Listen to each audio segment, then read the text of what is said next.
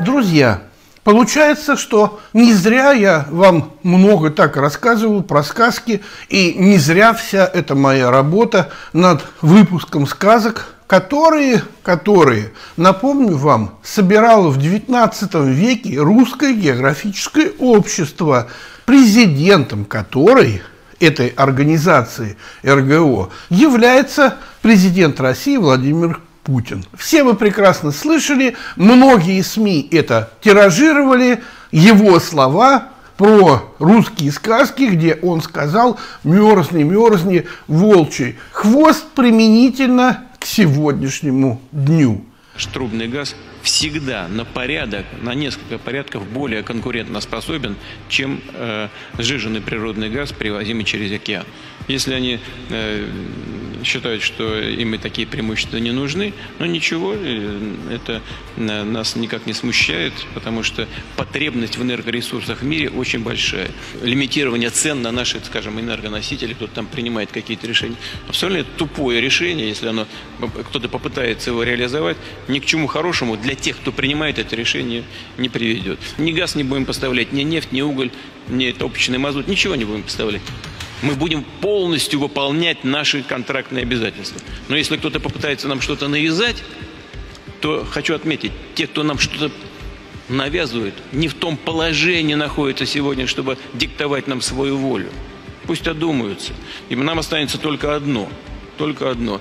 Как в известной русской э, сказке приговаривать «мерзни, мерзни, волчий хвост». Президент, президент России, нужно это четко понимать, не обратился какому-либо другому образу. Он не стал цитировать каких-нибудь ангелов, архангелов, каких-нибудь страстотерпцев или еще каких-то святых или других служителей Библии или, может быть, какого-то эпоса он обратился впервые, возможно, впервые, ну, по крайней мере, я другого варианта не слышал, он обратился впервые к русским народным волшебным сказкам. Я еще раз напомню, что сказки правильно называются русские народные волшебные сказки. Значит, по терминам, что такое сказки? Это до 19 века было то, что являлось государственным документом.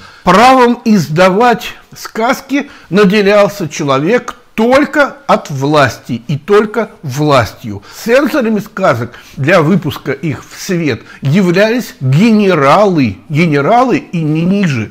Это была плюс еще и идеология идеологии тогда заключалась в том, что в этих самых сказках народная мудрость обретала свое живое явление. Она впитывалась и собиралась по всей территории нашей страны, того времени центральной России, где эти сказки пересказывались друг другу в устном режиме и записывались в письменном. И вот этими плодами этого мышления народа, всего народа, пользовались руководители того государства, и сейчас начинают пользоваться руководители нынешнего государства, как мы видим это в случае с президентом России Владимиром Путиным. В советское время сказочная отрасль была отдана на откуп Ближнему Востоку, и все эти толстые и тому подобные, они извращали русские народные сказки, приписывали им иностранное происхождение, как, например, сказка про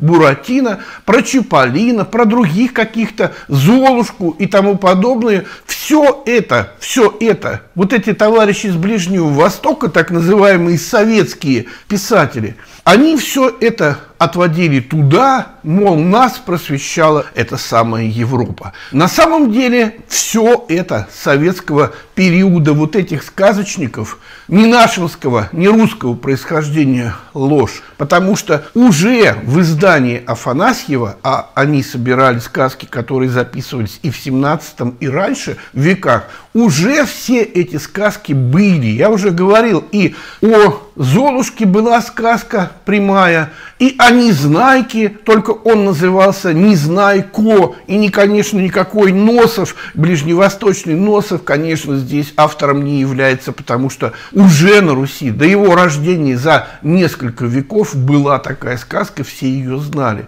Тоже касается и Буратино, это тоже никакая не итальянская сказка. У нас она называлась просто «Сосна-богатырь». От сосна, от названия дерева сосна, которая и явилась тем самым поленом, из которого сделали этого богатыря. Вот и вся фишка. Только у нас это был богатырь, который ходил на тот свет и завоевывал красавицу, а у них это оказалась деревянная кукла, которая тоже ходила на тот свет к Карабасу-Барабасу, но не за красавицей, а за бабосиками, за бабосиками, потому что у них там на Западе, кроме бабосиков, никаких красавиц других нет. И вот Возвращаясь к нашему президенту, я хочу еще раз отметить то, что он сказал вроде бы всем известную сказку, присказку из нее «Мерзни, мерзни, волчий хвост». На самом деле этих сказок, вот именно об этом сюжете у Афанасьева больше 20. И там по-разному они еще группируются, но это как раз первые сказки из его самого сборника. Напомню, как собирались русские народные сказки в XIX веке. В начале XIX века люди, те, которые считали себя русскими научными деятелями, тогда вообще-то наука слова не было, они считали себя общественными и духовными деятелями. Так вот, они собирали сказки по разным областям России. Я в своей книге «Сказки из библиотеки Ивана Грозного», второй том, которая вышла не так давно, построил эту территорию флажками отметила тех самых сказок, где, в каких территориях они были собраны. А собирали уже окончательно эти сказки работники русского географического общества, которое и было для этого организовано. Понимаете, какая фишка? То есть руководство страны тогда специально организовало общество, которое собирало русские, русские волшебные народные сказки. Я сейчас обращаюсь к вам, дорогие мои зрители,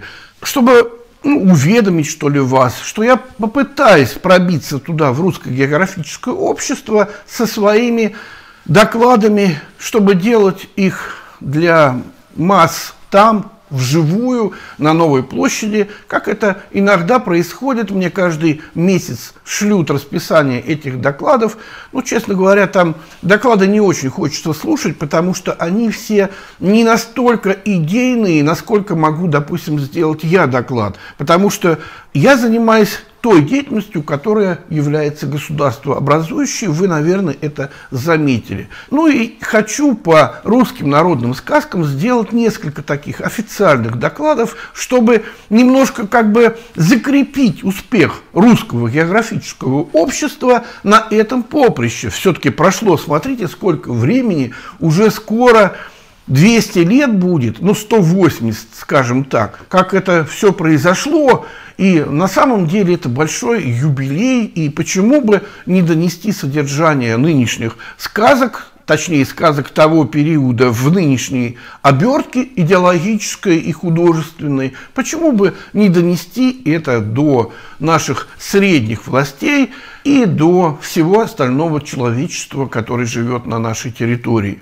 Конечно, иностранцы там ничего не поймут, потому что у них мозг на десятую долю работает, и он совершенно не так образован, там тоже одни бабосики и только убийства. Поэтому им и была дана эта Библия, чтобы они понимали, где и когда можно кого убить, чтобы отнять у него имущество, ну и чтобы это все было правильно, и где скрыться. Поэтому наши сегодняшние все вот эти вот звезды и премьер-министры, вице-премьер-министры точнее, поэтому они все уехали туда, куда уехали с этими, с нашими бабосиками, потому что они читают Библию и знают, куда нужно ехать, чтобы спрятаться от правосудия здесь, где они воровали. Отрадно, что президент России начал на весь мир пользоваться образами сказок, потому что в сказках такая мудрость, такая мудрость. Я не то, что вас пытаюсь как-то уговорить, но когда я впервые погрузился в реальные тексты, в настоящие тексты записанных у народа и в народе сказок, я тогда обалдел, обалдел вот этой самой мудрости. И как кроме как не ее, что именно можно себе брать на вооружение в таких местах, как, например, тот самый форум дальневосточный, это я уже говорю опять о президенте, что можно вообще брать для такой демонстрации мудрости многовековой и многонародной, если это не русские сказки. Ну просто другого нет ничего, чтобы могло быть сопоставимо по уровню интеллекта с русскими народными сказками. Некоторые скажут, да ладно, сказки писали для детей. Нет, нет, вы просто не знаете. Вам перепрошили, прошу прощения, мозг как раз вот те самые толстые и всякие бианки. Вот кто там из них писал вот это говнище, извиняюсь за выражение, которое они несли в массы, вот они и писали для тех самых детей типа европейских, которые тоже на бабосиках и там на всяких гендерных и половых отношениях завязаны. У нас на Руси это были, еще раз повторюсь, официальные документы. А там уже все вот эти братья Грим, Шарли Перо, они уже думали, что это все шуточки, не, не владея русским языком, они переводили это все на свой лад, заворачивая для развлечения детишек, потому что им привозили отсюда эти сказки во время наполеоновского нашествия, и они получали эти сказки как трофей, как оплату текста этих сказок, как оплату за свои какие-то там юридические услуги. Ну так, по крайней мере, братья Грим поступали. И Естественно, вот они переделали такие сказки в такую дурацкую обертку, а у нас здесь все по-серьезному. Поэтому, еще раз говорю, я очень рад, что на этих днях президент России Владимир Путин начал обращаться и обратился к текстам сказок, я очень рад, потому что там кладезь мудрости, повторюсь, в тысячный раз. И я думаю, что эти образы, которые он будет вытаскивать или ему помощники вытащат из русских народных волшебных сказок, они будут сильно продвигать его политическую и поставить и туда на запад, и туда на восток, потому что на востоке-то они типа мудрые все, тоже обращаются к своим каким-то мифам, которых у них нет. Не забывайте, что на востоке сказок нет, на западе сказок нет. Есть только сказки в центре, вот в центральной части, это на Руси и немножечко, немножечко вот где-то, вот чуть-чуть совсем по краям. А в остальных народах есть немножко эпос, немножко есть эпос, который оговаривает одну, две, три темы, повторяя русские народные сказки, потому что, видимо, либо это были какие-то заимствования, либо переселения, а весь куст – русских народных сказок и всей этой мудрости другие страны не имеют. Поэтому я думаю, что Владимир Владимирович это все знает и намеренно так использовал русскую народную сказку для того, чтобы все эти переводчики донесли ее на своих языках до своих боссов во всем мире. Вы представляете, сколько переводчики старались, сколько было переведено русской сказки, вот этого образа на языки мира. У нас, по-моему, 200 или 220 или 250 государств, и вот на все эти языки был сделан перевод. Вот такая вот она политическая, идеологическая реклама прошла не очень заметно.